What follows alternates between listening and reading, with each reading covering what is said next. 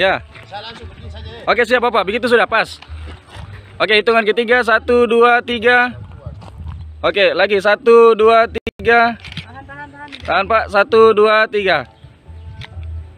Oke.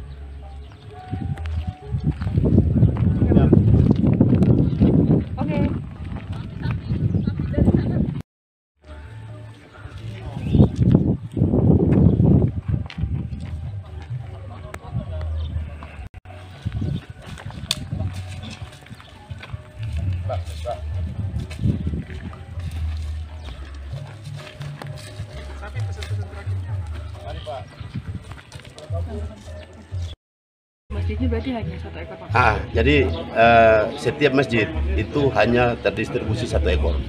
Jadi total 94 masjid yang ada di Kabupaten Manokwari 94 ekor hewan kurban yang eh, Ketua DPD Pak Abdul Faris Mulati eh, distribusikan memberikan hewan kurban itu ke tiap-tiap masjid. Pada tadi selain eh, sapi kurban juga diberikan eh, pakan untuk sapi. Ya, ada eh, selain hewan kurban, Pak Ketua juga menyumbangkan eh, dalam bentuk eh, untuk pakan. Jadi selama eh, sapi ini masih hewan kurban ini masih di dalam masjid ini sampai hari H ke tanggal 10 itu diberikan makanan. Jadi ada juga sumbangan untuk eh, yang memberikan makan ke hewan kurban tadi.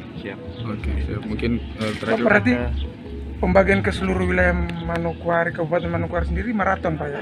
Ya, Dimulai hari ini. dimulai hari ini sampai hari H.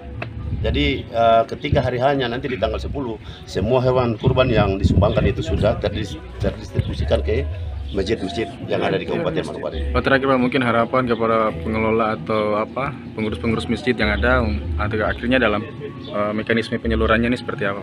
Jadi harapan kami eh, kalau boleh di setiap masjid itu apa namanya umat muslim yang merayakan hari raya Idul Adha kali ini dapat tersalurkan ke masing-masing orang di tiap-tiap masjid. Kira-kira seperti itu. Oke.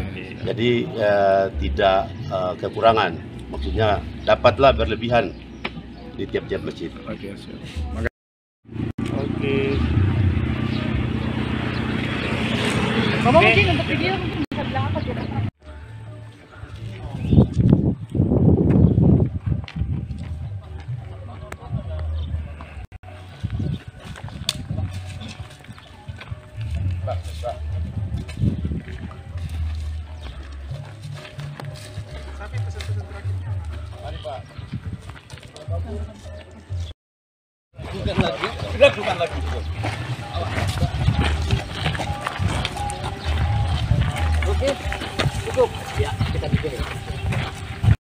itu nggak ada nggak ada tanda hidupnya bahaya itu kalau dia merontak Nanti kita beri agak dekat sini. Ya, biar ambil gambarnya dari ambil dari dari sana ya dari sana maksudnya mau dari sana boleh?